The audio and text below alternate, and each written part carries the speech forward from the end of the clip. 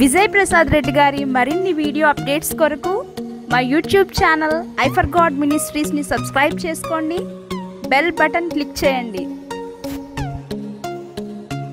ఆకాశ మహాకాశాలకు సృష్టికర్తమైన మా కన్న తండ్రి సర్వకృపానిధి.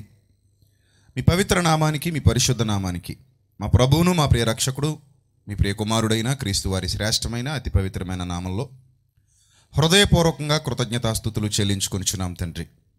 దయగలిగిన మా దేవ ఈ రాత్రికాల సమయంలో విలువైన ఈ సమయాన్ని మా అందరికీ దయచేసి ప్రభా విలువైన మీ మాటలు మీ పిల్లలకు అందించడానికి అనేక ప్రాంతాల నుండి మీ బిడ్డలందరినీ తోడుకుని వచ్చి వారికి చక్కటి ఆరోగ్యం ఇచ్చి నూతన సంవత్సరంలో ప్రభా మరిన్ని విషయాలపై అవగాహన సంపాదించుకుని తమ జీవితాన్ని సార్థకం చేసుకోవడానికి మీ మార్గాలలో పరుగెత్తడానికి మీరిచ్చిన ఈ శ్రేష్టమైన భాగ్యాన్ని బట్టి మిమ్మల్ని కొనియాడుతూ తండ్రి ఈ దినము మీ దీన దాసుడనైన నాకు మీ యొక్క వాక్యాన్ని బోధించడానికి మరొక్కసారి అవకాశాన్ని ప్రసాదించినందుకు కృతజ్ఞతాస్థుతులు చెల్లిస్తూ మీ సత్యవాక్యాన్ని విభజించి ఉపదేశించడానికి మీ ఆత్మ సహాయమును మరి ముఖ్యంగా మా ఎందు మీరు నివసింపజేసిన మా అందరి ఆదరణకర్త అయిన పరిశుద్ధాత్ముని సమయోచితమైన జ్ఞానమును ప్రసాదించమని క్రీస్తు నామంలో ఈ ప్రార్థన మనలు అడిగి వేడుకొనిచున్నాం మా కన్న తండ్రి.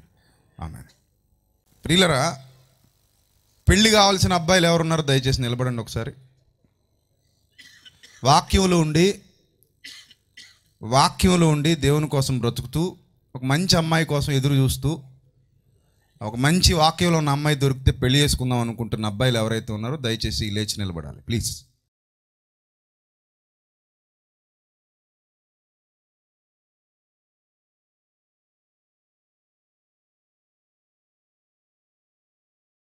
సో వీళ్ళందరూ పెళ్ళి కాని యవనస్తులు. వీళ్ళందరూ ఆలోచనలు ఎలా ఉన్నాయంటే మన పెళ్ళిపాటు ఒకటి వినేసి ఉన్నారు. వీళ్ళందరూ ఆలోచనలు ఎలా ఉన్నాయంటే మంచి అమ్మాయి దొరికితే పెళ్ళి చేసుకుందాం. అది వాక్యంలో ఉన్న అమ్మాయి కావాలి. ప్రభువునందు మాత్రమే పెళ్ళి చేసుకోవాలని మంచి అమ్మాయి కోసం అందరు ఎదురు చూస్తున్నారు. వెతుకుతారు కూడా. నేను వాక్యంలో బ్రతుకుతున్నాను కనుక నాకు కూడా వాక్యానుసారంగా అమ్మాయి ఉంటే బాగుండు అని ఎదురు చూస్తున్నటువంటి పిల్లలు. మీరు అలాగే నిలబడండి. స్క్రీన్ మీద ఒక ఫోటో చూపించవయ్యా. అమ్మాయిని చూపిస్తున్నా. ఎవరు పెళ్ళి చేసుకోవడానికి రెడీగా ఉన్నారో చెప్పాలి. అమ్మాయి అందంగానే ఉంటుంది. తర్వాత విషయంలో తెలియదు కానీ వచ్చింది అమ్మాయి. ఎవరు అమ్మాయి? ఎవరు అమ్మాయి? సన్నీ లియోన్ అంటారు ఆవిడ్ని. బాలీవుడ్ అగ్రనటి పోర్న్ స్టార్ అంటే సెక్స్ సినిమాలో నటిస్తుంది. మీకు మీకు బాధగా అనిపించినా ఈరోజు మెసేజ్ అదే తప్పదు మరి. అన్నయ్య మమ్మల్ని అవమానించడానికి లేపాడా అనుకుంటున్నారు కదా మీరు? ఏం అవమానించడానికి లేపలేదు. అమ్మాయిని పెళ్ళి చేసుకోమని ఒక ఆత్మీయుడిని అడిగితే ఎవడైనా ఇష్టపడి పెళ్ళి చేసుకుంటాడా మీరు చెప్పండి. అంటే ఆ అమ్మాయినని కాదు సన్నీ లియోన్ అని కాదు అలాంటి పోర్న్ స్టార్ని ఎవరినైనా మీ ముందుకు తీసుకొచ్చి ఈ పోర్న్ స్టార్ని పెళ్ళి చేసుకో ఈ ఈ బూత్ వీడియోల్లో నటించిన అమ్మాయిని పెళ్ళి చేసుకో అని ఎవరైనా చూపిస్తే ఆ అమ్మాయిని పెళ్ళి చేసుకోవడానికి ఇలాంటి యవనస్తుల్లో ఎవరైనా సిద్ధపడతారా? దేవుల్లో ఉన్న యవనస్తులు సిద్ధపడతారా? మిమ్మల్ని అడుగుతున్నా సిద్ధపడతారా? ఖచ్చితంగా సిద్ధపడరు. సో ఎవరికి ఇష్టం ఉండదు ఇలాంటి పనులు చేయాలంటే. ఏందండి ఇది? బుద్ధిహీనంగా మాట్లాడుతున్నాడు ఈయన. ఏదో పెళ్ళిగాని యవనస్తులు అయినసరికి అంత వెటకారం అయిపోయాం మేము. ఏం మాట్లాడుతున్నావు నువ్వు? ఎలా కనబడుతున్నావు నీ కంటికి? అని అన్న అంటారు మీరు. పర్సనల్గా అడిగితే కనుక ఈరోజు వాక్యం కాబట్టి ఏదో చెప్పబోతున్నాడు అన్నయ్య అందుకే ఇదలా ఇదంతా ప్లాన్ చేశాడు. సంథింగ్ ఏదో ఉంది ఈరోజు అదేదో చెప్పబోతున్నాడు కాబట్టి అంత ప్లానింగ్ చేశాడు అని మీకు ఏదో అనిపించి అలా మౌనంగా లేచి మౌనంగా కూర్చున్నారు. కానీ నేనే పర్సనల్గా మిమ్మల్ని దగ్గరికి పిలిచి ఇలాంటి అమ్మాయి ఒక అమ్మాయి ఉంది సన్నీ లేనికి చెల్లి అవుతుంది. చేసుకుంటావా పెళ్ళి? అని అడిగితే ఖచ్చితంగా మీరు ఏం చేస్తారు? కోపడిపోతారు ఇక అక్కడ అన్నయ్య తమ్ముడు ఏముండదు ఉండదు ఇంకా. ఆటోమేటిక్గా కోపాలు వచ్చేస్తాయి మీకు. ఎలా కనబడుతున్నానే మీకు? మరింత దారుణంగా అవమానిస్తారా నన్ను? మరింత దారుణంగా బాధ పెడతారా నన్ను? మరింత దారుణంగా ఇబ్బంది పెడతారా నన్ను? మీరు అసలు దేవుని సేవకులేనా? ఇలాంటి పనులు చేయొచ్చా? ఇలా మాట్లాడొచ్చా మీరు? అని రకరకాల మాటలు అనేసి ఇక్కడి నుంచి వెళ్ళిపోతారు కోపంగా. కదా? ముంబై రెడ్ లైట్ ఏరియాకి తీసుకెళ్ళి రెడ్ లైట్ ఏరియాలో ఎలా ఉంటారో తెలుసు కదా మీకు? ఫొటోస్ ఉంటాయి. చాలా చాలాసార్లు వీడియోలు కూడా బయటకు వచ్చాయి చాలా వీడియోలు ఉన్నాయి. వాళ్ళ ఇంటర్వ్యూలు టీవీ ఛానల్స్లో చూపించారు.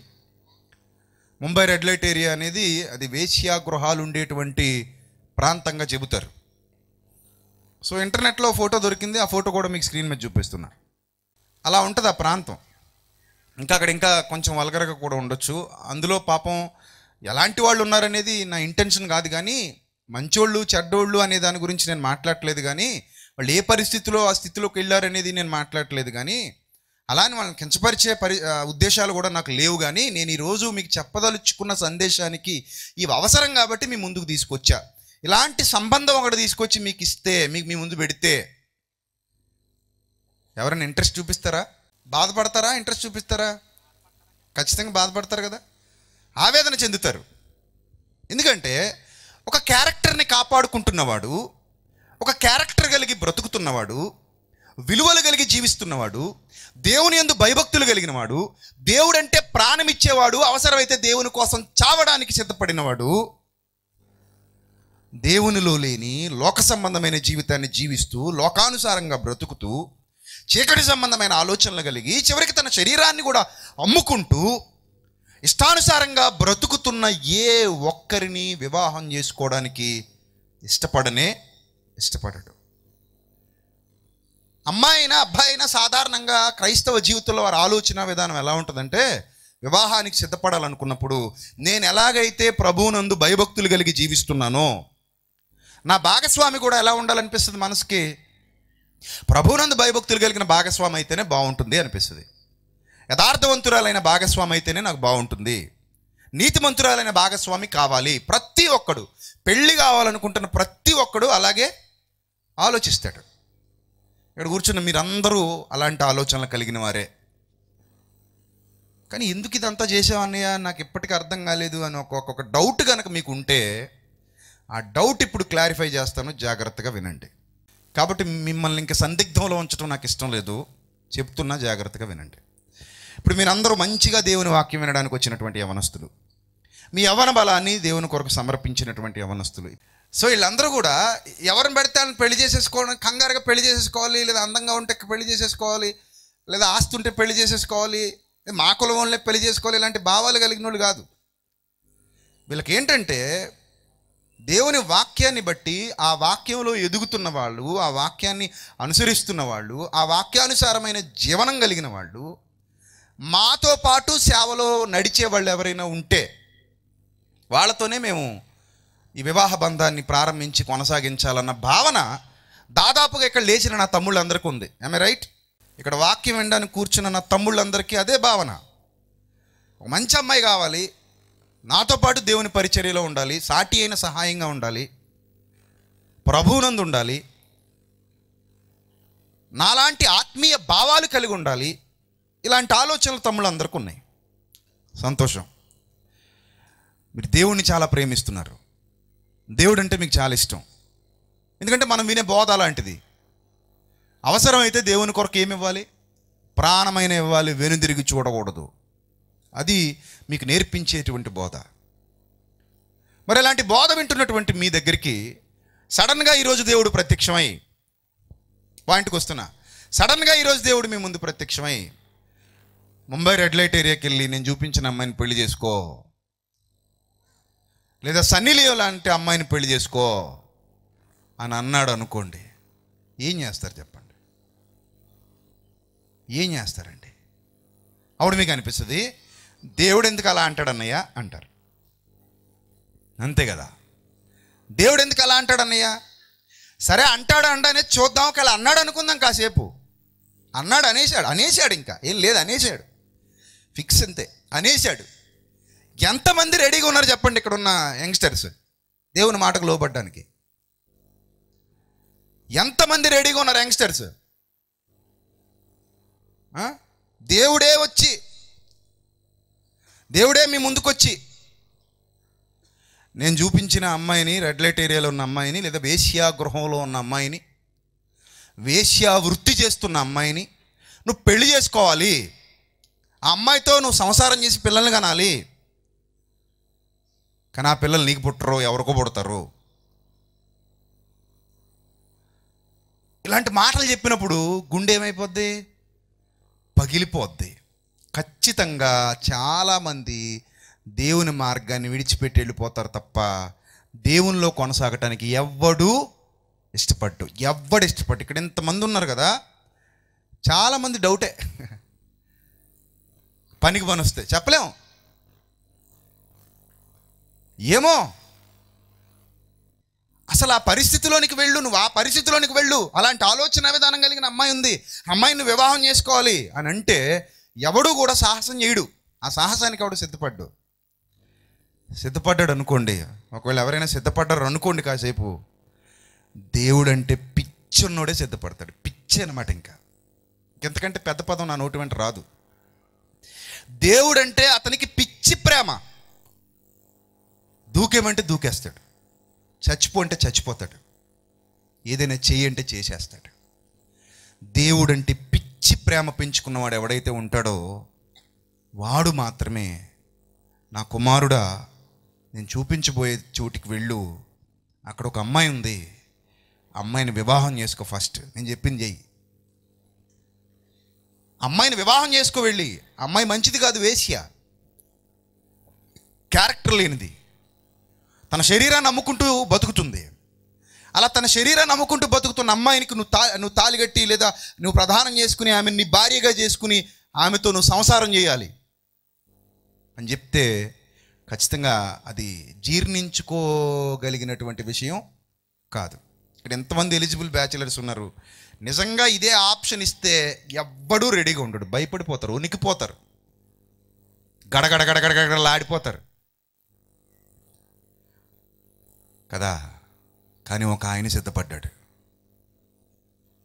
ఎస్ దేవుడు ఒక ఆయన్ని ఇలాగే పిలిచాడు. ఒక యంగ్స్టర్ని. ఒక యంగ్స్టర్ని ఇలాగే పిలిచి అప్పటికే సేవలో బహుబలంగా వాడబడుతున్నాడు. మంచి సేవా జీవితం కలిగి ఉన్నాడు. బలమైన సేవ చేస్తున్నాడు. బలమైన సేవ. సేవ అంటే ఏంటి? అంటే ముందు వాక్యం ప్రకటించడమే. వాక్యం ప్రకటించడం కూడా సేవేనా? అని ఎవడైనా అంటే నోరు మూసుకో అర్జెంటుగా. వాక్యం ప్రకటించడమే సేవలోని ప్రథమమైన పని ప్రథమమైనది ప్రధానమైనది అది. అసలు ఏమనుకుంటున్నావు వాక్యం ప్రకటించడం అంటే? ఆత్మకు ఆహారాన్ని అందించి ఆత్మీయ స్థితిలో వృద్ధిలోనికి తీసుకొచ్చి క్రీస్తు యొక్క సంపూర్ణతలోనికి తీసుకుని వెళ్ళేది సత్య వాక్యం అక్షయ ఆహారం. అది ఎలా పడితే అలా పెట్టేయకూడదు కదా దాన్ని చాలా జాగ్రత్తగా అందుకే సత్యవాక్యమును సరిగా విభజించి ఉపదేశించు వాణిగా ఉండవలను. ఎంత స్పష్టంగా చెప్తున్నాడు చూడండి. ఒక ఆయన దానికి సిద్ధపడిపోయాడు.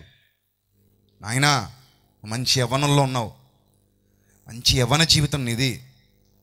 నీకెన్నో కళలు ఉంటాయి కదా. ప్రతి యవనస్తురాలకి ప్రతి యవనస్తుడికి వివాహ విషయంలో ఎన్నో కళలు ఉంటాయి ఆ కళలు కళలైపోతే ఎవరు తట్టుకోలేరు. అది చాలా బాధాకరమైన సంఘటన. ఎవరి జీవితంలో అలా జరగకూడదు. వాళ్ళు జరిగితే అది చాలా బాధాకరం. వర్ణనాతీతం అనమాట ఆ బాధ. ఎందుకంటే లైఫ్ అనేది ఒకటే ఒక లైఫ్. చాలా ఇంపార్టెంట్ లైఫ్ అది. ఆ లైఫ్లో భాగస్వామి అనేది చాలా ఇంపార్టెంట్. చాలా ఇంపార్టెంట్ భాగస్వామి.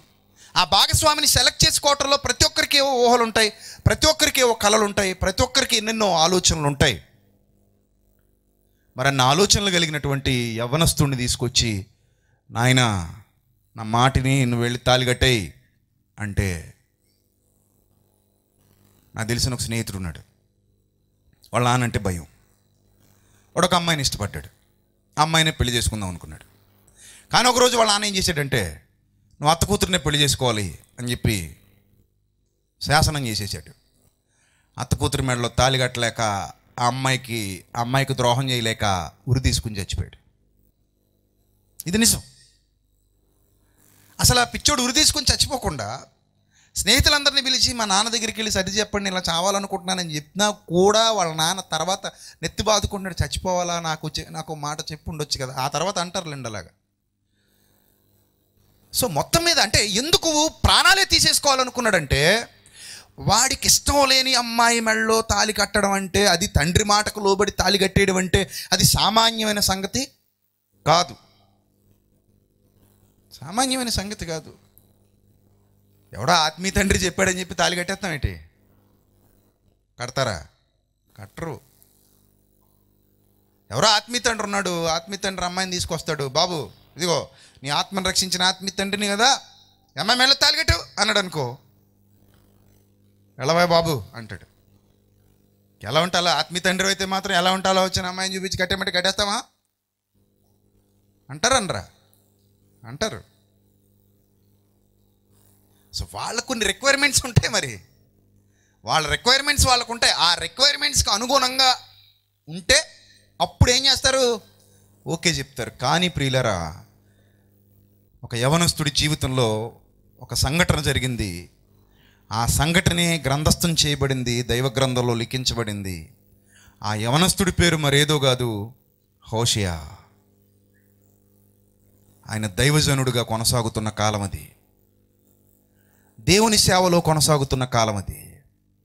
దేవుని ప్రవక్తగా దేవుని మాటలు ప్రజలకు బోధిస్తూ దేవుని హెచ్చరికలు ప్రజలకు తెలియజేస్తూ దేవుని ఆలోచనల్లోనికి ప్రజలను నడిపిస్తూ వాళ్ళను ఉద్ధరిస్తూ కాలం గడుపుతున్నటువంటి దినాలలో ఒకరోజు దేవుడు ఏం మాట్లాడారో ఒక్కసారి చూద్దాం దైవ గ్రంథంలో నుండి. హోషియా గ్రంథం. ప్రారంభాధ్యాయం ప్రారంభ వచనం. ఉజ్జియా యోతాము ఆహజు హిజ్కియా అను యోధారాజుల దినములలోనూ యహోయాషు కుమారుడైన ఎరోబామును ఇస్రాయేలు రాజు దినముల్లోనూ యహోయాషు కుమారుడైన ఎరోబాం అంటే ఇతడు రెండో ఎరోబాము రెహబాముతో సమానంగా పరిపాలించిన ఎరోబాము ఒకడున్నాడు. ఈ ఎరోబాము ఒకడు. రైట్. యహోయాషు కుమారుడైన ఎరోబాము అని ఇస్రాయేలు రాజు దినములలోను బెయేరి కుమారుడైన హోషయాకు ప్రత్యక్షమైన యహోవా వాక్కు. వాళ్ళ నాన్నగారి పేరు బెయేరి అంటే ఆయనకు ఫ్యామిలీ కూడా ఉంది. ఫ్యామిలీ ఉందంటే ఇంక అసలు ఏం చేయలేం. ఫ్యామిలీ ఉందంటే వాళ్ళకు కూడా నచ్చాలి అమ్మాయి. అంతే కదా మరి? ఇప్పుడు ఎవరినైనా నువ్వు పెళ్ళి చేసుకుంటావంటే మా నాన్నగారిని అడగాలన్నయ్య. అంటారా? పర్లేదు నేను చేసేసుకుంటాను మా నాన్నదే ఉంది అంటారా? అలా ఏం ఉండదు కదా? నాన్నగారిని అడగాలి అమ్మగారిని అడగాలి ఇంట్లో వాళ్ళకి చెప్పాలి ఇంట్లో వాళ్ళకి నచ్చాలి. కోడలు మనకు సూటబులా కాదా? చూడాలి. ఆ ఫ్యామిలీ మనకు సూటబులా కాదా? చూడాలి. వాళ్ళు మనతో కలుస్తారా కలవరా? వాళ్ళు నిజంగా దేవుల్లో ఉన్నారా? లేకపోతే నామకార్థ వేషధారిత క్రైస్తవులా? వాళ్ళ బ్రతుకేంటి? వాళ్ళ జీవన విధానం ఏంటి? వాళ్ళ ఆలోచనలు ఎలా ఉంటాయి? ఇవన్నీ తెలుసుకోవాలి. కదా? ఇవన్నీ తెలుసుకుని అప్పుడు వివాహానికి సిద్ధపడతారు. ఇది అంత సాదాసీదాగా తీసేసుకునే నిర్ణయం కాదు. ఫ్యామిలీ ఉంది. బెయోరి కుమారుడైన హోషియా. కానీ ఒక్కటి గుర్తుపెట్టుకోండి. వీళ్ళందరి జీవితాలు సాక్షి సమూహం ఇదంతా కూడా. వీళ్ళందరి జీవితాలు ఎందుకు దేవుడు మన ముందు పెట్టాడంటే వాళ్ళ జీవితాల్లో నుండి మనం నేర్చుకోవాల్సినవి చాలా ఉన్నాయి. అంటే ఏం నేర్చుకోవాలన్నా అని అంటే కనుక వాళ్ళ సమర్పణ జీవితాన్ని గురించి మనం అధ్యయనం చేయాలి. వాళ్ళ ప్రేమను గురించి మనం అధ్యయనం చేయాలి. దేవుని ఎడల దేవుని పట్ల వాళ్ళు పెంచుకున్న ప్రేమ వాళ్ళకున్న నమ్మకత్వం వాళ్ళకున్న యథార్థత అది మనకు తెలియాలి. సో ఆ టైంలోనట ఇస్రాయేలీలందరూ కూడా ఇష్టానుసారంగా బ్రతుకుతున్నటువంటి దినాలవి. కణాను దేవతల్ని తయారు చేసుకుని రకరకాల బొమ్మలకు ఆరాధన చేస్తూ దేవుని వాక్యానికి తిలోదకాలు ఇచ్చేసి ఇష్టానుసారమైన బ్రతుకు బ్రతుకుతూ తాము తమ చేతులతో చేసుకున్నవే నిజమైన దేవుళ్ళు అనుకున్న భ్రమలో బ్రతుకుతూ వాటికి నీచమైన కార్యాలు చేస్తూ కాలం గడుపుతున్నారు. ఎలాంటి కార్యాలు చేసేవారు తెలుసా? అలాంటి వాటికి అవసరమైతే వాళ్ళ పిల్లల్ని కూడా బలులుగా ఇచ్చేసేవారు. చూద్దాం ఒకసారి రాజుల గ్రంథం.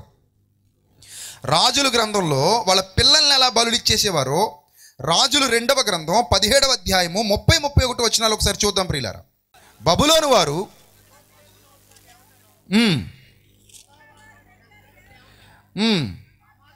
హామాతు వారు అషీమా దేవతను అవి భస్జా దేవతను దే తర్తాకు దేవతను ఎవరు వారి దేవతను పెట్టుకొని చుండ్రి రకరకాల దేవత ఎవడు పడితే వాడో దేవతను తయారు చేసేసుకున్నాడు అక్కడ వాళ్ళు అన్యజనులు. ఈ అన్యజనులు ఎవడు పడితే వాళ్ళు ఒక్కో దేవతను తయారు చేసేసుకున్నారట. వాళ్ళు ఏం చేస్తున్నారట? శపర్వీయులు తమ పిల్లలను అద్రమ్మెలకు అనెమ్మెలకు అని శపర్వయీము యొక్క దేవతలకు అగ్నిగుండ మందు దహించుచుండిరి. చాలా మంది మతోన్మాదులు మనల్ని అడుగుతారు మీ దేవుడు ఎందుకు ఆ దేవతల విగ్రహాలు పగలగొట్టమని ఇస్రాయేలీలకు చెప్పాడు? మీ దేవుడు ఎందుకు ఆ దేవతలను వదిలేయమని ఇస్రాయేలీలకు చెప్పాడు? మీ పాత నిబంధన గ్రంథంలో ఏంటి ఇలా వ్రాయబడ్డని అడుగుతుంటారు. వాళ్ళ అమాయకులో లేదా జ్ఞా- అజ్ఞానులో తెలియదు చాలా మంది అడిగేవాళ్ళు. ఇలాంటి నీచమైన కార్యాలు చేస్తుంటే మీరు ఒప్పుకుంటారా చెప్పండి? మీరు ఒప్పుకుంటారా? ఎవడో తమ దేవత పేరిట పిల్లల్ని అగ్నిగుండలు వేసేస్తున్నాడు అనుకో మానవతా దృక్పథం ఉన్నవాడు ఏం చేస్తాడు? రే ఏందిరా ఈ బుద్ధిహీనమైన పనులు? ఆపో అంటాం. అంటావానవా అంటాం. ఆపో తప్పది తప్పు చేస్తున్నావు అని చెప్తాం. మరి సృష్టికర్తకు అధికారం లేదా? ఆఫ్టర్ ఆల్ మానవ మాతృలు మనమే ఎంత ఫీల్ అయిపోయి ఆపు అంటుంటే సృష్టికర్తకి ఎంత అధికారం ఉంటుంది? అగ్నిగుండంలో వేసేస్తారా? నేను ఇచ్చిన బహుమానాలని. నా పిల్లల్ని తీసుకెళ్ళి అగ్నిగుండంలో వేసేస్తారా? ఒక వ్యర్థమైన దేవతకి ఒక అబద్ధానికి మీ చేతులతో మీరు చేసుకున్న దానికి నిజం కాని దానికి తీసుకెళ్ళి అగ్నిగుండంలో పసిబిడ్డలను దహించేస్తారా నీచులారా? ఆపండే అంటాడు. అన్నాడు. అందుకే అలాంటి నీచమైన కార్యాల్లో మీరు పాలిభాగం తీసుకోవద్దని తన పిల్లలైన ఇస్రాయేలీలకు బుద్ధి చెప్పాడు. మన పిల్లలు ఎవడో పక్కింటోడు చెడిపోయి వాడి మార్గంలోకి వెళ్ళిపోతుంటే మనం సపోర్ట్ చేసి వెళ్ళరా వాడితో పాటు చెడిపో అంటామా? అనం కదా ఏమంటాం? రే జాగ్రత్త వాడితో తిరిగావా తంత? అంటాం. వాడితో కానీ జత కాళ్ళు ఎరగొడతా అంటారా అనరా? అంటారు ఖచ్చితంగా. ఎందుకంటే మన పిల్లల్ని చూస్తూ చూస్తూ మనం పాడు చేసుకోలేము. మనకే ఇరవై ముప్పై ఏళ్ళ బంధం అంత ప్రేమ ఉంటే దేవాది దేవునికి ఇంకెంత ప్రేమ ఉండాలి? దేవాది దేవునికి ఇంకెంత బంధం ఉండాలి? ఇంకెంత అనురాగం ఉండాలి? అందుకే ఆయన అన్నాడు మీరు వాళ్ళ మార్గంలోనికి మీరు వెళ్ళొద్దు. వాళ్ళ ఆలోచనల్లో మీరు చేరవద్దు. వారి సంఘముతో మీరు కలిసి కొనవద్దు. మీరు నా కొరకు ప్రత్యేకింపబడిన వారు కనుక మీరు ప్రత్యేకంగానే ఉండాలి. మీరు సెపరేట్గానే ఉండాలి. మీరు సెపరేట్గానే బతకాలి అని చెప్పాడు దేవుడు వాళ్ళకి. అయితే వీళ్ళు ఏం చేశారంటేనట ఆ కణానీయుల దేవతలను ఆరాధిస్తూ ఇలాంటి నీచమైన కార్యాలకు తెగబడ్డారు. అప్పటికి వాళ్ళకి ఏ ప్రాబ్లమ్స్ లేవు. అన్నీ సమృద్ధిగా ఉన్నాయి చక్కగా జీవితం నడిచిపోతుంది. హ్యాపీగా ఉంది జీవితం ఇబ్బందులు లేని జీవితం. అంతే కదా మనిషి ఎప్పుడు చెడిపోతాడండి? మనిషి ఎప్పుడు చెడిపోతాడు? అన్నీ బాగున్నప్పుడే చెడిపోతాడు. శ్రమ కలుగక మునుపు నేను త్రోవ విడిచి తిని నేను మరలా సెట్ అయిపోవడానికి శ్రమ కలుగుట నాకు మేలే ఆయన అంటాడు కదా దావీది గారు. సెట్ అయిపోవడానికట శ్రమ కలుగుట ఆయనకి ఏమైందట? మేలైనట శ్రమ కలుగక మునుపు ఆయన త్రోవ విడిచాడట. సో అన్నీ బాగున్నాయి అనుకోండి కొవ్విక్కు కొట్టుకుంటాం. ఏదైనా చిన్న తేడా వచ్చింది అనుకోండి మోకాళ్ళు వేసేస్తాం. మోకాళ్ళు వేసేయాలంటే ఏం రావాలన్నమాట? తేడా రావాలన్నమాట. అంటే మరక మంచిదే అన్నట్టు తేడా రావడం కూడా మంచిదే అప్పుడప్పుడు. మరి అంతే కదా? నీకు మరక మంచిదే? ప్రోడక్ట్ అమ్ముకోవడానికి మనకి శ్రమ రావడం మంచిదే. రాకపోతే మాట వినం మనం. అస్సలు మాట వినం దేవుని మాట వినం. ఇస్రాయేలీల పరిస్థితి ఎలా ఉందంటే ఇప్పుడు కొవ్వెక్కి కొట్టుకుంటున్నారు. వాళ్ళు ఇష్టం వచ్చినట్టు తయారు చేసి పెట్టేసుకున్నారు. వాళ్ళు ఇష్టం వచ్చిన కార్యక్రమాలు చేసుకుంటున్నారు. అలా అని మళ్ళీ యహోవా ఏర్పరిచిన పండగలు కూడా చేసేస్తున్నారట పనిలో పనిగా. ఉత్సవ కాలాలు కూడా చేసేస్తున్నారు పండగలు కూడా చేసేస్తున్నారు. ఏంటి ఇలా చేసేస్తున్నారంటే ఎంజాయ్మెంట్ ఉన్నదాన్ని దేన్ని వదలట్లేదు. వాళ్ళకి ఎంజాయ్మెంట్కి ఏది ఉపయోగపడదో ఆ కవి అన్నాడు ఒక శ్రీశ్రీ గారు కాదేది? కవిత అనర్హం అన్నాడు. అగ్గిపుల్ల కుక్కపిల్ల సబ్బు బిళ్ళ ఆడపిల్ల కాదేది కవిత అనర్హం అలా వీళ్ళు కూడా ఉత్సవాలు పండగలు మాసాలు దినాలు కాదేది ఎంజాయ్మెంట్కి అనర్హం? ఏది పడితే అది ఎక్కడ పడితే అక్కడ. ఆ దేవుడు ఈ దేవుడు అని లేదండి. ఏ దేవుడు పడితే ఆ దేవుడు ఆ టైంకి ఎంజాయ్ చేయడానికి మనం అడ్డు పెట్టుకోవడానికి ఒకటి ఉండాలి అంతే అలా పెట్టుకొని వీళ్ళు ఒక పక్క ఉత్సవ కాలాలు చేసేస్తున్నారు. ఇలాంటి పరిస్థితిలో దేవుడు నాయన నీ అవసరం నాకు చాలా ఉంది. వస్తావా నా కోసం? నేను నిన్ను పిలుస్తున్నాను వస్తావా? నీ చెయ్యి నాకు అందిస్తావా? నేను ఏ శ్రమల గుండా అయితే నిన్ను నడిపించబోతున్నాను మానసిక క్షోభ శరీరాన్ని ముళ్ళులతో గుచ్చేసిన పర్లేదండి. తట్టుకొచ్చేమో ఇలాంటి పెళ్ళోడు చేసి వదిలేసాం అనుకో నిన్ను. ఉంటుంది మరి జీవితం? క్షోభ మానసిక క్షోభ. అందుకే సొలమోన్ గారు ఒక మాట అంటాడు గయ్యాళితో పెద్ద ఇంట కాపురం ఉండుట కంటే గయ్యాళితో పెద్ద ఇల్లట పెద్ద బెడ్రూము పెద్ద హాలు మంచి కట్నం. బంగారాలు ఎంత ఇస్తున్నారంటాడు? ఎవడైనా సరే పెళ్ళి అనగానే వెంటనే నోటి వెంట వచ్చేదేంటి? ఎంత? అంటారు. అంటే సంతలో గేదెని అమ్మేసినట్టు మీ వాడిని ఎంతకు అమ్మేసామని అంతే కదా? ఎంత ఇస్తున్నారేటి? అంటే ఇన్ని కాసుల బంగారం ఇంత పొలం ఇన్ని ఇల్లులు. అబ్బో మా వాడికి ఇంకేం కొదువు లేదు. చూసుకోక్కర్లే. కూర్చుని తిన్నా తరగదు. ఏంటి పొట్ట? అంతేనా? ఏం తరగదు కూసుంది తింటే పొట్ట తరగదు. అదే పెరుగుద్ది మరి. ఆ తర్వాత శీతాకాలం రాగానే హార్ట్ అటాక్ వచ్చి చచ్చిపోతాం. ఆ పొట్ట దెబ్బకి. కాబట్టి కూసింది తిన్న తరగదండి మా వాడికి ఫుల్గా ఎంజాయ్ చేయడానికి బాగా పెట్టాం అని చెప్పి మొత్తం మీద ఎలాంటి కథలు కహానీలు చెప్పుకుంటూ కాలం గడుపుతారు. అవి కావాలి మనుషులకి. పెద్ద ఇల్లు పెద్ద బెడ్రూము పెద్ద హాలు డూప్లెక్స్ బంగ్లా. ఇవి ఉంటే సరిపోద్ది అనుకుంటారు. కానీ నీ లక్కీ లాటరీ తగిలేసి గయ్యాళి అయిపోయింది అనుకో అప్పుడు సొలమోన్ గారి మాట గుర్తొస్తుంది. ఏమంటారు తెలుసా? గయ్యాళితో ఇంత కట్నం తెచ్చుకున్న దాంతో ఇంత పెద్దింట్లో కాపురం ఉండడం కంటే అటుకులు కూడా అంటారు కదా పిడకలు ఉంటాయి. ఇది వరకు చూసారు మిద్దెలు అంటే అలాగ ఉండే మరి. చిన్న గూడేసి దాని మీద పిడకలో పొలలో పేర్చుకునేవారు. లేకపోతే పనికిరాని వస్తువులు పచ్చడి జాడీలు ఎక్కించేవారు పైకి. పాత్రలు అలాగే ఉండేవి మిద్దెలంటేనే. పనికిరాని వస్తువులు పచ్చడి జాడీలు పనికిరాని అంటే మనం ఇప్పుడు స్టోర్ రూమ్స్ అంటున్నాం. పూర్వం మిద్దెల మీద ఇవన్నీ పేర్చేవారు. ఇప్పటికీ చాలామంది ఇళ్ళలో ఏమున్నాయి? మిద్దులు ఉంటాయి వాటి మీద ఎలకలు పరిగెడతా మీకు ఎప్పటికప్పుడు ఇన్ఫర్మేషన్ ఇస్తూ ఉంటే మేము ఉన్నామని. సో ఆ మిద్దె మీదకి వెళ్ళట అక్కడ కూడా ప్రశాంతంగా పడుకోవడం కాదట. ఆ మిద్దె మీద కూడా మూలక పోవడం మేలు అంటున్నాడు ఆయన. ఆ మిద్దె మీద కూడా మూలక పోవడం మేలు. ఎంత బాగా ఎలా తెలిసిపోయింది గురూజీ మీకంటే. వెయ్యి కొంపలైనా తెలీదా? గురూజీ నేను గురుగురుని. చాలా పరిశోధన చేసినట్టున్నారు గురూజీ మీరు. ఎస్ ఎస్ ఇటు పక్క మూడు వందల ఉపపత్నులు అటు ఒక మంది ఏడు వందల పత్నులు ఇంతమంది ఉన్నారు కదా మూడు వందల పత్నులు ఏడు వందలు ఉపపత్నులు మొత్తం మీద పది సెంచరీలు కొట్టాను ఒకేసారి. కానీ నిజంగా విచిత్రం అండి. ఆయన అంతమందిని ఎక్కడ పెట్టాడో ఎలా పెళ్ళి చేసుకున్నాడో తెలియదు కానీ ఆయన జీవితకాలంలో ఒక్కొక్కరిని ఒక్క రోజు చూసినా మూడు సంవత్సరాలకు మళ్ళీ ఒక్కరిని చూస్తాడు. పేర్లు ఎలా గుర్తున్నాయో అర్థమై చావదు. వాళ్ళ వాళ్ళే వచ్చి చెప్పాలి. నా పేరు ఇదండోయ్ అని. నువ్వు నా భార్యమేనా నేనేనండి బాబు అప్పుడు కట్టారు కదా తాళి. అదే మూడేళ్ళు అయిపోతుంది కదా చూసి గుర్తు రావట్లేదు. అన్నట్టు ఉంటుంది. అలాంటి వాళ్ళు గయ్యాళ్ళు ఎన్ని ఎన్ని తగిలేసాయో ఇంకా అదంతా అర్థమయ్యేసరికి ఇంకా మిద్దె మీద ప్రశాంతంగా పడుకోవటం కూడా కాదురా నాయన. ఆ మిద్దె మీద మూలకపోవడం మేలు అన్నాడు. అది ఆయన తెలుసుకున్నది.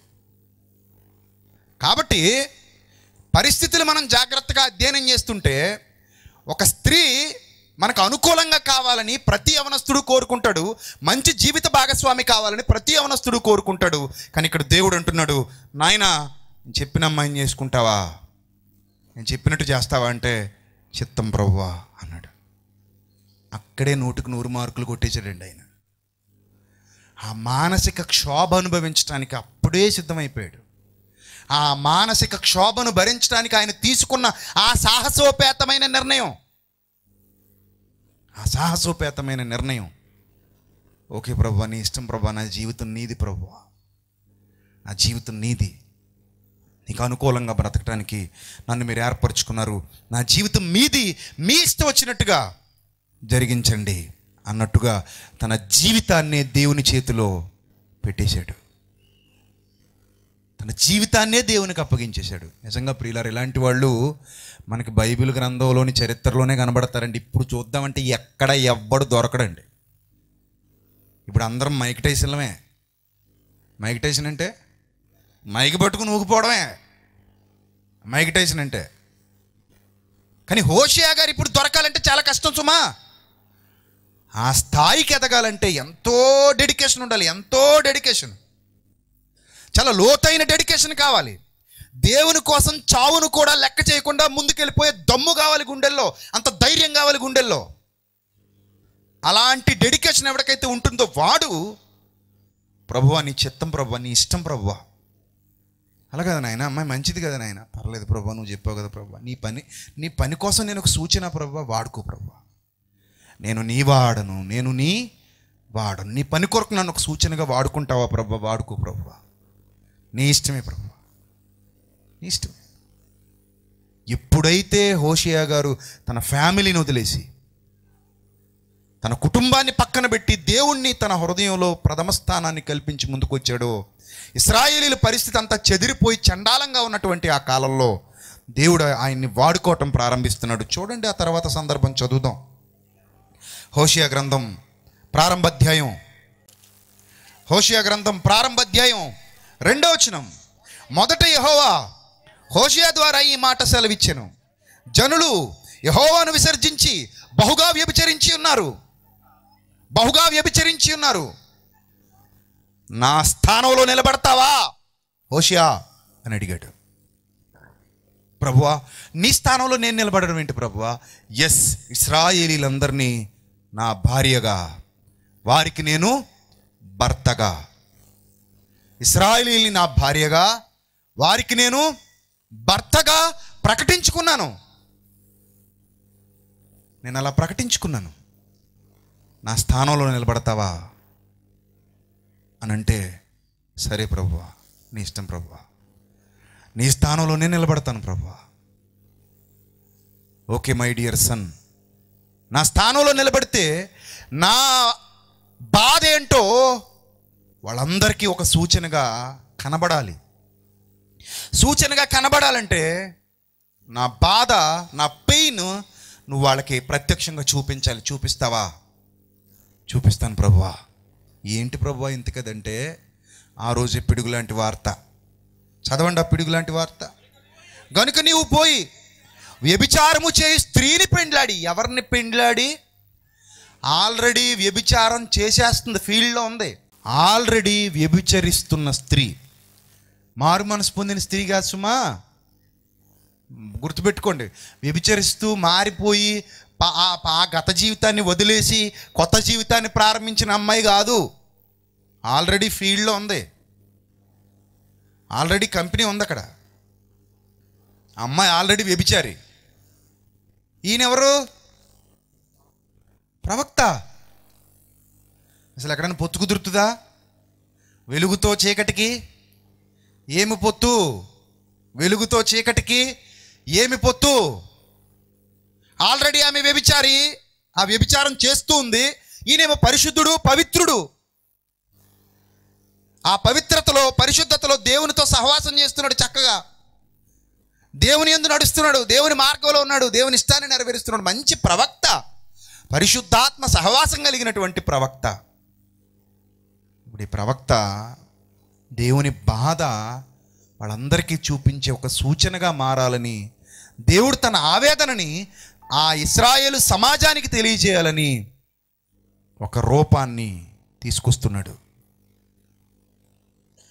ఒక సన్నివేశాన్ని ప్రారంభింపజేశాడు. దానికి ఒక సిద్ధపాటు కలిగినటువంటి యవనస్తుడు కావాలి. సమర్పణ జీవితం కలిగినటువంటి యవనస్తుడు కావాలి. ఆ యవనస్తుడు ముందుకొచ్చాడు. నువ్వు పో వ్యభిచారం చేసే స్త్రీని పిండ్లాడు. వ్యభిచారం వల్ల పుట్టిన పిల్లల్ని తీసుకో. ఇది ఇంకా దారుణం కదా?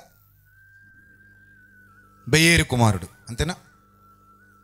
బంధువులు ఉంటారా ఉండరా వాళ్ళకి? ఉంటారా? ఇప్పుడు మీలో ఎవరికైనా నిజంగా ముందు నిలబెట్టింది అందుకే మీకు అర్థం అవ్వాలంటే ప్రసంగం మిమ్మల్ని నిలబెట్టే చేయాలి. అందుకే మీ అందరి పేర్లు చదివా. మీ బంధువులు ఉంటారు కదా మీ అందరికీ. ఎలా బాబు ఎవరినో పెళ్ళి చేసుకున్నామట ఏదో కంపెనీ ఉందట కదా వాళ్ళకి. అవునయ్యా. ఆవిడ ఇప్పటికీ వ్యభిచారం చేస్తుందట కదా. అవునయ్యా. మరి అదేం పోయే కాలంలో నీకు అమ్మాయిలు దొరకలేదా? దేవుడు చేసుకోమన్నాడు. ఏ దేవుడు చేసుకోమంటే చేసుకుంటావా? బుద్ధి జ్ఞానం లేదు నీకు? పోనీ పెళ్ళయ్యాక ఏమైనా మానేసిందా? లేదు. మరి ఏం చేస్తుంది? రోజు రాత్రి వెళ్ళి బిజినెస్ చేస్తుంది. చిచ్చి నీదో బతికైనా ఇందులోనే పడి చావు దరిద్రుడా? అంటారా అనరా అంటారా. అనరా అంటారు తర్వాత రెండోది ఏంటి? పిల్లల్ని కానాలి. ఆ పిల్లలు ఎవరు పిల్లలు? మరి ఒక్కడికి నీ పోలిక లేదేందిరా? నా పిల్లలు కాదండి. మరి ఎవరికి పుట్టారు? అదే బిజినెస్ చేస్తుంది కదండి మా ఆవిడ. వాళ్ళకి పుట్టారండి. వాళ్ళని తీసుకొచ్చి పెంచుకుంటున్నావా? అవునండి. అసలు మనిషివేనా? నువ్వు అసలు మనిషివేనా? లేకపోతే ఏమైనా రాయివి రప్పవినా? నీకు అసలు మనస్సాక్షి ఉందా? నీకు అంతరంగం లేదా? అందులో నీకంటూ నీ సొంత స్వభావం అంటూ నీకేమీ లేదా? అరే మన వంశంలో ఇలాంటి వాడిని ఎక్కడ చూడలేదు? చెడబుట్టావు కదరా? మన కులంలోనే చెడబుట్టావు కదరా? మన గ్రామంలోనే చెడబుట్టావు కదరా? అని మీ బంధువులు అంటే ఆ రోజైనా మీరేం చేస్తారు దేవుణ్ణి? వదిలేస్తారు. వదిలేస్తారు. బాబు భక్తి వద్దు నువ్వు వద్దు నీ మార్గాలు వద్దు నీ నిత్య జీవితం వద్దు నీ పరలోకం వద్దు నీ కోసం బతకటం వద్దు. బాబు నీకు నమస్కారం. నేను అసలు చేయలేని ఇలాంటిది నేను పోతా. నేను చేసుకోలేనయ్యా. నీ ఆలోచన నాకు నచ్చలేదయ్యా. I don't like your suggestion నీ ఆలోచనే నాకు నచ్చలేదు. నువ్వు ఏదైతే చెప్తున్నావో అది వినడానికి నేను సిద్ధంగా లేను. నాకు వద్దు నేను పోతనా అని హోషియా వెళ్ళిపోయాడు అనుకోండి ఈరోజు మీ బైబిల్ గ్రంథంలో క్రీస్తు పూర్వం ఏడో ఏడు వందల యాభై ఐదు పరిసర ప్రాంతాల్లో జరిగిన ఈ చరిత్ర మీ బైబిల్లో నా బైబిల్లో ఉండకుండా పోయేది. ఈరోజు మీ బైబిల్లో నా బైబిల్లో ఈ మహనీయుడి చరిత్ర కనబడుతుంది అంటే దానికి ప్రధానమైన కారణం ఏంటో తెలుసా? డెడికేషన్. ఆయనకున్న డెడికేషన్. దేవుని కొరకు సమర్పణ జీవితం కలిగి ఉన్నాడు సమర్పణ జీవితం. దేవుని ఇష్టాన్ని నెరవేర్చడానికి తనను తానే అప్పగించుకున్న జీవితం అది. ఆ గొప్ప జీవితంలో పెళ్ళి చేసేసుకున్నాడు. ఆవిడ ఇంకా వ్యభిచారం చేస్తూనే ఉంది. వ్యభిచారం వల్ల పిల్లలు పుట్టేశారు. మొదట పిల్లడు పుట్టాడట. కాబట్టి అతడు పోయి దిబ్బలేము కుమార్తె అయినా గోమెరును పెండ్లి చేసుకును ఆమె గర్భవతి అతనికి ఒక కుమారుని కనగా యహో అతనితో ఇలాగ సెలవిచ్చిన ఇతనికి యజ్రేల్ అని పేరు పెట్టు. యజ్రయేలులో యహో ఇంటి వారు కలుగు చేసుకున్న రక్త దోషమును బట్టి ఇక కొంతకాలమునకు నేను వారిని శిక్షింతును. ఇస్రాయేలు వారికి రాజ్యం ఉండకుండా తీసివేతును. ఆ దినమున నేను యజ్రేలు లోయలో ఇస్రాయేలు వారి విల్లును విరుతును అన్నాడు. ఏమని పేరు పెట్టమన్నాడట? ఇజ్రేలు అని పేరు పెట్టమన్నాడట. దాని అర్థం ఏంటో తెలుసా? దేవుడు విర్రగ కొడతాడు లేదా దేవుడు వారిని నలగ కొడతాడు తరిమి వేస్తాడు అని అర్థం వచ్చే విధంగా మూల భాషలో ఇజ్రేలు అని పేరు పెట్టాడట తర్వాత పిమ్మట ఆమె మరలా గర్భవతి అయి కుమార్తెను కనగా యహో అతనికి సెలవిచ్చినదేమనగా దీనికి లోరుహామా అనగా జాలి నొందనిది. పిల్లలు జాలి నొందనిది అని పేరు పెట్టుము. ఇక మీదట నేను ఇస్రాయిల్ వారిని క్షమించిన వారి ఎడల జాలిపడను అయితే యోధా వారి ఎడల జాలిపడి విల్లు ఖడ్గము యుద్ధము గు- గుర్రములు రౌతులు అను వాటి చేత కాక తమ దేవుడైన యహోవా చేతనే వారిని రక్షించును. లోరుహామా జాలినందనది పాలు విడిచిన తర్వాత తల్లి గర్భవతి అయి కుమారుని కన్నప్పుడు యహోవా ప్రవక్తకు సెలవిచ్చినదేమనగా మీరు నా జనులు కారు నేను మీకు దేవుడునై ఉండను కనుక లో అమ్మి అంటే నా జనము కాదు అని ఇతనికి పేరు పెట్టు. లో అమ్మి నా జనము కాదు అని ఇతనికి పేరు పెట్టు. చూసారా? ఎంత స్పష్టంగా దేవుడు చెప్పాడు. సో ఈ సంఘటనలన్నీ జరుగుతున్నాయి. వేశ్యా వృత్తికి చెందినటువంటి ఆమెను పెళ్ళి చేసుకున్నాడు. ఇస్రాయేలీలకు సూచనగా ఉన్నాడు. హోషియా భార్య యొక్క విశ్వాసఘాతక చర్య ఇస్రాయేలీలు చేసినటువంటి విశ్వాసఘాతకానికి సాదృశ్యం. ఎందుకంటే దేవుడు ఇస్రాయలీని ఎన్నుకున్నాడు ఏగుప్తుల నుండి విడిపించాడు తన భార్యగా స్వీకరించాడు తానే భర్తగా ఉన్నాడు వారి కోసం ఎన్నో చేశాడు ఎంతో చేశాడు ఎంతో చేశాడు. ఎంత చేసినా వాళ్ళు దానిని విలువగా చూడలేదు. చూడండి ప్రియులరా రెండో అధ్యాయానికి వచ్చేసరికి ఇస్రాయేలీలు ఇతర దేవుళ్ళను కొలవడం కనాను దేవుళ్ళతో కలిసిపోవడాన్ని రెండో అధ్యాయం చూడండి ఎంత స్పష్టంగా హోషియా గారి కుటుంబం దేవుని కుటుంబం. రెండింటికి ఉన్నటువంటి అవినాభావ సంబంధం. ఇదంతా మనకి ఇక్కడ చాలా స్పష్టంగా కనబడుతుంది చూడండి. మీరు నా జనులని మీ సహోదరులతోనూ మీ స్వదేశీయులతోనూ మీరు చెప్పుడి. నేను దాని బట్టలను పెరికివేసి పుట్టిన నాటి వలె దానిని దిగంబరాలుగా చేసి పాడుపెట్టి ఎండిపోయిన భూమి వలె ఉంచి దప్పిచేత లయపరచబడకుండానట్లు మీ తల్లి పోకిరి చూపు చూడకయు అంటే ఇంకా ఆమెలో ఏం రాలేదు? మార్పు రాలా? అలాగే చూస్తుంది. పోకిరి చూపు చూడకయు దాని స్థనములకు పురుషులను చేర్చుకొనక ఉండినట్లు మీరు ఆమెతో వాదించండి అంటాడు ఏంటి? అంటే ఇస్రాయేలీలతో మీరు వాదించండి. ఇస్రాయేలీలందరూ కూడా ఈ క్యారెక్టర్ కలిగి ఉన్నారు. ఈమె క్యారెక్టర్కి వాళ్ళు సాదృశ్యం. ఈమె క్యారెక్టర్ ఏదైతే ఉందో ఆ క్యారెక్టర్కి వీళ్ళు సాదృశ్యంగా ఉన్నారు ఇస్రాయేలీలందరూ. సో మీరు ఆమెతో వాదించండి. అది నాకు భార్య. కాదు. నేను దానికి పెనిమిటిని కాదు. దాని పిల్లలు జార సంతతి అయి ఉన్నారు. వారి తల్లి వేశ్యత్యము చేసి ఉన్నది. వారిని కన్నది అవమానకరమైన వ్యాపారము చేయున్నది గనుక వారి యందు నేను జాలిపడను. అది నాకు అన్నపానములు గొర్రెబొచ్చు జనపనార తైలము మద్యమును ఇచ్చిన నా విటకాండ్రను నేను వెంటాడుకొందునను కొనుచున్నదంటే కనాను ఆ దేవతల వైపు వీళ్ళు తిరిగిపోయారు ఇస్రాయేలీలు దుష్టత్వంలోకి వెళ్ళిపోయారు భయంకరమైన స్థితిలోకి వెళ్ళిపోయారు నీచమైన మార్గాల్లోనికి వెళ్ళిపోయారు. అందుకనే ఉగ్రత వారి మీదకి రాబోతుంది. ఉగ్రతలోనికి వాళ్ళు రాబోతున్నారు అని స్పష్టంగా చెబుతున్నాడు. ఇక మూడో అధ్యాయానికి వచ్చేసరికి మరియు యహోవా నాకు సెలవిచ్చినదేమనగా ఇస్రాయేలు ద్రాక్ష పండ్ల అడలను కోరి ఇతర దేవతలను పూజించినను. యహో వారిని ప్రేమించినట్లు మరొక అవకాశం అటిది. అంత నీచంగా బ్రతికినను వారిని ప్రేమించినట్లు దాని ప్రియునికి ఇష్టురాలై దాని ప్రియునికి ఇష్టురాలై వ్యభిచారిణియగు దాని వద్దకు నీవు పోయి దాన్ని ప్రేమించుము. ఇది ఇంకెంత దారుణం? ఎవరికి ఇష్టురాలట ప్రియునికి ఇష్టురాలు పేరుకు నీ భార్య. ఎవరికి ఇష్టరాలు? ప్రియునికి ఇష్టరాలు. పేరుకు మాత్రమే నీ భార్య.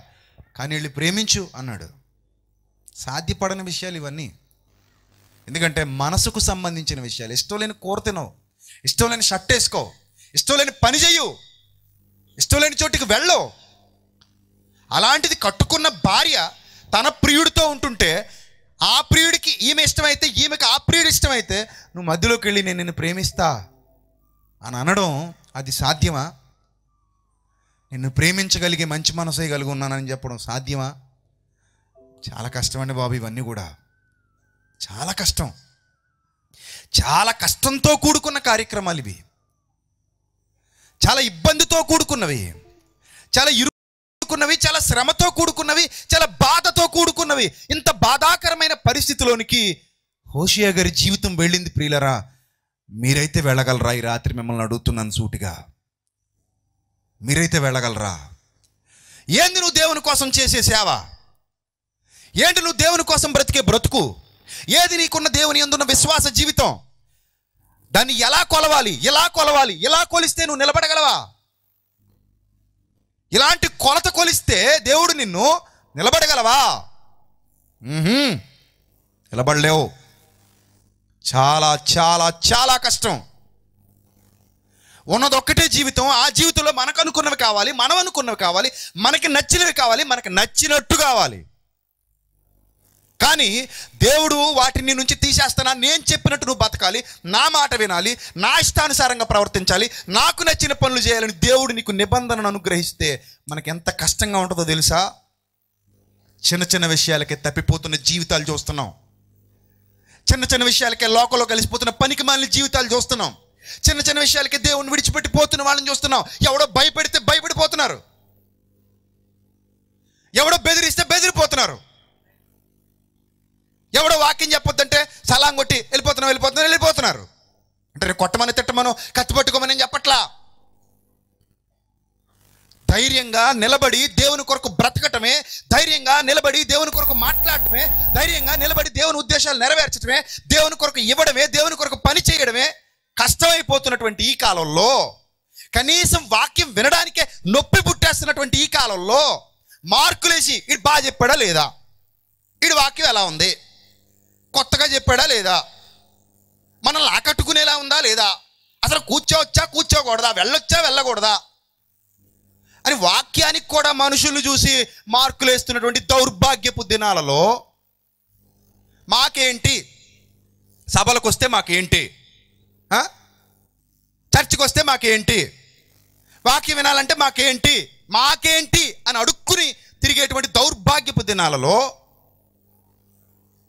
దేవుని కొరకు ఇలాంటి సాహసోపేతమైన నిర్ణయాలు తీసుకునే వాళ్ళు ఉంటారా? ఇలాంటి సాహసోపేతమైన నిర్ణయాలు తీసుకుని దేవుని కొరకు బ్రతికే వాళ్ళు కనబడతారా? ఇలా దేవుని ఇష్టాన్ని నెరవేర్చడం ప్రభు నీ ఇష్టం ప్రభు ఆమె తన ప్రియునితో ఎంజాయ్ చేస్తున్నప్పుడు నేను వెళ్ళి ప్రేమిస్తాను ప్రభు ఆమెకి ఏం కావాలంటే అవి సమకూరుస్తాను ప్రభు ఆమెకి ఏం కావాలంటే అవి ఇస్తాను ప్రభు ఒక భర్తగా నా బాధ్యతలన్నీ నిర్వర్తిస్తాను ప్రభు ఒక భర్తగా నేను కుటుంబానికి కావాల్సినవన్నీ తెచ్చి పెడతాను ప్రభు నీ కోసం నేను బ్రతుకుతాను ప్రభు అని చెప్పగలిగే దమ్ము ఉంటుందా ఎవరి దగ్గరైనా? కొట్టేస్తారు లేకపోతే మర్డర్ చేసి ఒకటి తలకాయ పోలీస్ స్టేషన్ బయటికి వెళ్ళిపోయాడు ఎవడో పనికి మాలోడు తలకాయ పట్టుకుని నడిచి వెళ్ళిపోతున్నాడు మొన్న మధ్య ఫేస్బుక్లో వీడియో. పోలీసులే దడక్కిపోయారు. వాడు కత్తో చేత్తో తలో చేత్తో పట్టుకొస్తుంటే. ఎరా బాబు ఏంద్రా బాబు నీ పిచ్చి ఎవరా బాబు ఇవిడ నా భార్య. ఏరా? ఎవరితో తిరుగుతోంది? అది నిజమో అబద్ధమో కొంతమంది పనికి అనుమానం జబ్బులు ఉంటారు. అడి పాలుడితో మాట్లాడిన అనుమానమే పేపరోడితో మాట్లాడిన అనుమానమే. ఆ అనుమానం జబ్బుగాడో మరీడు. నిజంగా అలా చేసిందో తెలీదు. చేస్తే మాత్రం చంపేస్తారా? సో అలాంటి భావజాలం కలిగినటువంటి సమాజంలో ఏందండి మనిషి? కనబడతారా మనకు అసలు ఇలాంటి మనుషులు? చూడగలం అసలు ఇలాంటి వాళ్ళని? దొరుకుతారు అసలు ఇలాంటి వాళ్ళు? భక్తుల జీవితాలు అవి. అందుకే మళ్ళీ చెప్తున్నా ఎవడైనా సరే భక్తుల గురించి తప్పుగా మాట్లాడితే దేవుడు నాలుగు కొచ్చి పడేస్తాడు జాగ్రత్త. నీ నువ్వు వాళ్ళ వాళ్ళ కాలి గోటికి కూడా సరిపోవు. ఎవరినైనా సరే. దావిదిని కానీ పేతురు గారిని కానీ మోషే గారిని కానీ ఇంకెవరైనా సరే మహాభక్తులు ఉన్నారు ప్రవక్తలను కానీ ఎవరి గురించైనా సరే తప్పుగా ఒక్క మాట జారావా నాలుగు తెగ్గోసేస్తాడు ఆయన. వాళ్ళనే హక్కు మనకు లేదు. వాళ్ళ కాలి కోటికి సరిపోం మనం. వాళ్ళు నడిచి వెళ్ళిపోతే ఆ దుమ్ము దగ్గర నిలవడానికి కూడా మనకి అర్హత హక్కు లేవు. మనం చేసే పని ఎంత అండి షట్ట కాలర్ నలగకుండా దేవుని పని చేసుకెళ్ళిపోతున్నాం. వాళ్ళు నలిగిపోయి దేవుని పని చేశారు. ఆ రోజులు వేరు ఈ రోజులు వేరు. ఆ పరిస్థితులు వేరు ఈ పరిస్థితులు వేరు. ఇరుకులు గుండా ప్రయాణాలు చేశారు ఇబ్బందులు గుండా ప్రయాణాలు చేశారు వాళ్ళు.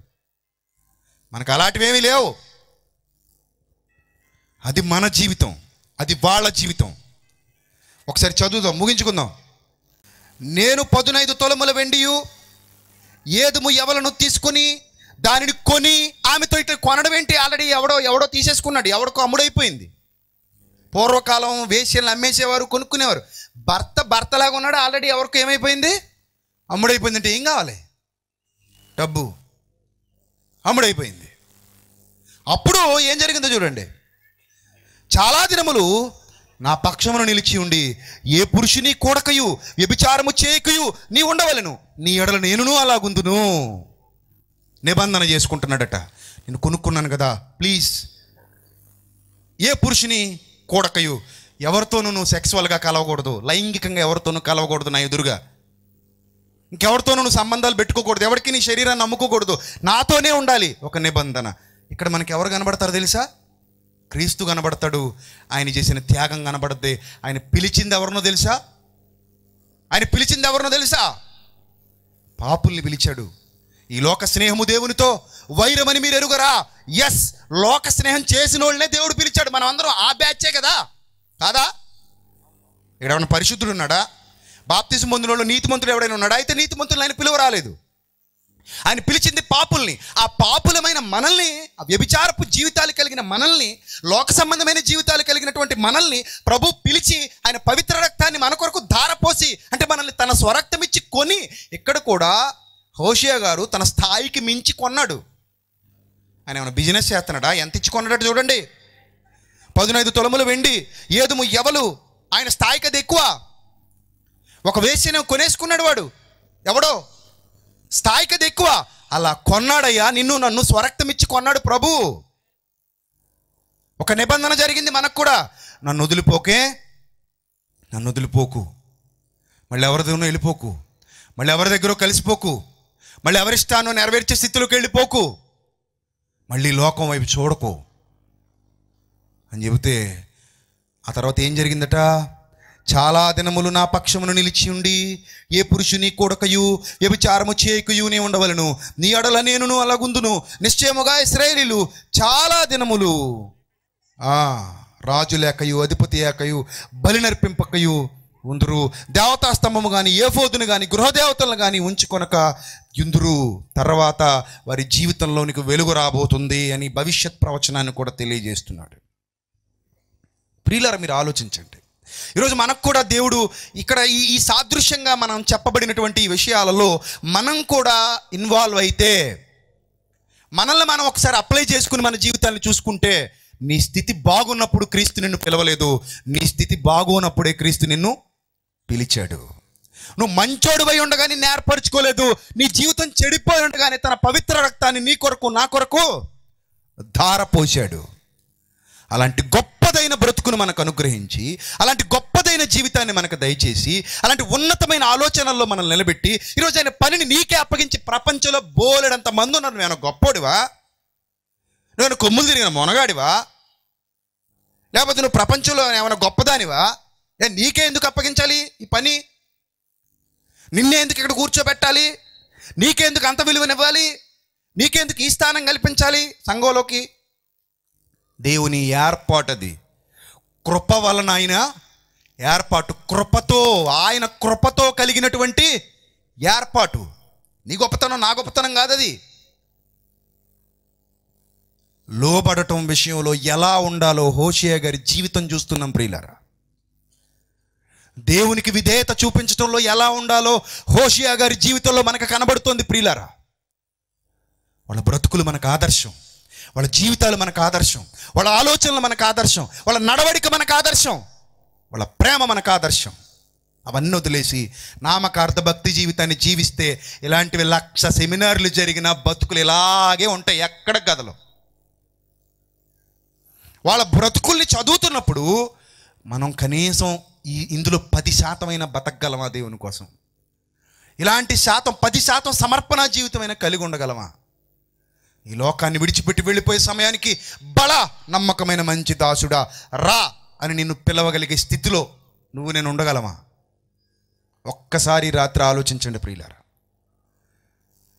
దేవుని కొరకు బ్రతకటం అంటే మన ఇష్టానుసారంగా బ్రతకటం కాదు ఆయన ఇష్టాలు తెలుసుకొని బ్రతకటం. ఆయన ఇష్టాలు నెరవేరుస్తూ బ్రతకటం సాహసోపేతమైన కార్యాలకు సిద్ధపడటం ఆయన నామాన్ని మహిమపరిచే విధంగా జీవితాన్ని కొనసాగించటం. చాలా ఉంటాయి. ఒక్కసారి రాత్రి ఆలోచించండి ప్రభు ఇలాంటి పిలిపే నిన్ను పిలిస్తే ఎంతమంది రెడీగా ఉన్నారు? ప్రభువా నీ ఇష్టం ప్రభువా నీ ఇష్టం ప్రభువా నేనున్నాను ప్రభువా. చిత్తం ప్రభువా నేనున్నాను ప్రభువా నీ ఇష్టం ప్రభువా నీ ఇష్టానికి నేను విధేయుడిని ప్రభువా. నీ ఇష్టానికి నన్ను వాడుకో ప్రభా అని చెప్పగలిగే స్థితిలో ఎంతమంది ఉన్నారండి? ఆ స్థితిని గురించి ఒక్కసారి ఆలోచించండి. ఆ స్థితిలో మీరు ఉన్నారో లేదో ఒక్కసారి పరీక్షించుకోండి. భక్తుల జీవితాలు సాక్షి సమూహం. ఇంత గొప్ప సాక్షి సమూహం మేఘము వలె మనలందరినీ ఆవరించి ఉంది. అలా ఆవరించి ఉన్న వారి జీవితాలను ఒక్కసారి చూడండి. మీ బ్రతుకుల్లో మార్గదర్శకులుగా వారిని పెట్టుకోండి. అట్టి ధన్యత దేవుడు మీకు మీ కుటుంబాలకు సమృద్ధిగా దయచేయను గాక. తలలో వంచండి ప్రార్థన చేసుకుందాం. సర్వకృపానిధి కనికరం కలిగినటువంటి మా కన్న తండ్రి ఇంతవరకు విలువైన మీ జ్ఞానవాక్కులు మాకు అనుగ్రహించి మీ ప్రేమలో మమ్మల్ని వర్ధిలింపజేసి మీ కృపలో మమ్మల్ని వర్ధిలింపజేసి ఆనాటి భక్తుల జీవితాలతో మాకు గుణపాఠాలు నేర్పిస్తున్నందుకు ఏమిచ్చి మీరు రుణం తీర్చుకోగలం తండ్రి? ప్రభువా మీ పిల్లల హృదయాల్లో గొప్ప వెలుగులు నింపండి తండ్రి. మా అందరి హృదయాల్లో గొప్ప వెలుగులు నింపండి ప్రభు. హోషే గారు ఆయన ఆయన భక్తి జీవితం ఎంతో గొప్పది తండ్రి.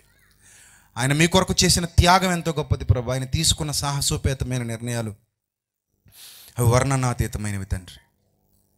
అలాంటి సమర్పణ జీవితం కలిగి మేము మీ మార్గంలో కొనసాగడానికి మాకు సహాయం చేయమని ప్రాధేయపడుతూ జరగబోతున్న కార్యక్రమాలన్నింటినీ ఘనంగా జరిపించమని వేడుకుంటూ క్రీస్తు నామంలో ఈ ప్రార్థన మనలో సమర్పించుకొనిచున్నాం మా కన్న తండ్రి. ఆమెన్ అందరికీ వందనాలు మీ గాడ్ బెస్ ఇవ్వాలి thank you thank you so much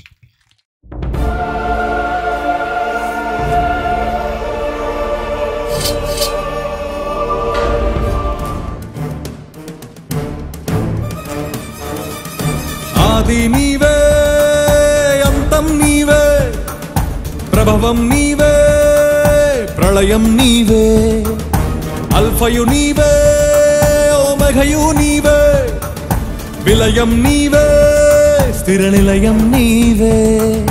గగనం భువనం సకలం నీవే జగతిని నడిపే జ్యోతివి నీవే. సమరం అమరం సర్వము నీవే అన్ని నామాలు ప్రణమిల్లే సర్వోన్నత నామం నీవే. సర్వోన్నత నామం నీవే.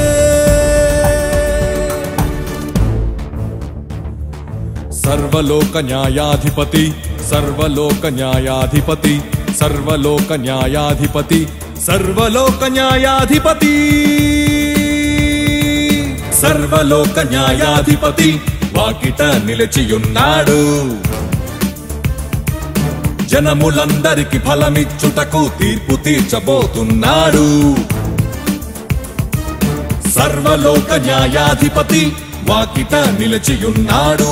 జనములందరికి ఫలమిచ్చుటకు తీర్పు తీర్చబోతున్నాడు. వేల దూతలతో బూరధ్వనులతో మేఘమండలము పైన. యూదా గోత్రపు కదమ సింహముతో కదలి వస్తుంది సేన. క్రీస్తు న్యాయపీఠం ఎదుట ప్రత్యక్షం కావాలందరూ క్రీస్తు న్యాయపీఠం ఎదుట. ప్రత్యక్షం కావాలందరూ.